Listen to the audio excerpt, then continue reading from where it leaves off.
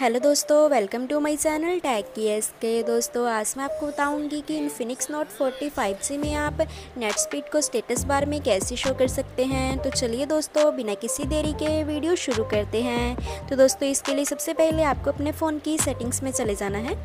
Settings में जाने के बाद आपको यहाँ पर एक ऑप्शन मिलेगी। आप यहाँ पर दोस्तों, देख सकते हैं डिस्प्ले एंड ब्राइटनेस की। आपको यहाँ पर क्लिक करना है। उसके बाद दोस्तों आपको यहाँ पर एक ऑप्शन मिलेगी। आप यहाँ पर दोस्तों देख सकते हैं स्टेटस बार की। आपको यहाँ पर क्लिक करना है। एंड देन यहाँ पर आपको ऑप्शन मिल जाएगी। आप देख सकते हैं शो इंटरनेट स्पीड आपको सिंपली यहाँ से इसे ऑन कर देना है। तो आपके फ़ोन में इंटरनेट स्पीड शो होनी शुरू हो जाएगी।